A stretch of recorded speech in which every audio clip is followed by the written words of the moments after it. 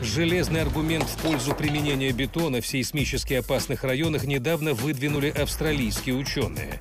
Они изобрели гибкий бетон. Чтобы заставить его гнуться, исследователи добавили в раствор золу от сжигания угля. Древние римляне тоже так делали. Может быть, поэтому Колизей и выдержал все удары судьбы. Пескозольная смесь подходит и для 3D-печати. На принтере можно запросто напечатать загородный домик по индивидуальному проекту, хоть из гибкого бетона, хоть из гидрофобного. Чтобы он перестал бояться воды, достаточно добавить в раствор микрокремнезем. Этот материал образует мельчайшие кристаллы. Они заполняют даже самые мелкие поры.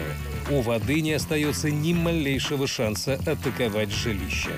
Вы видите, один образец потемнел, впитав воду, а второй остался абсолютно такой же.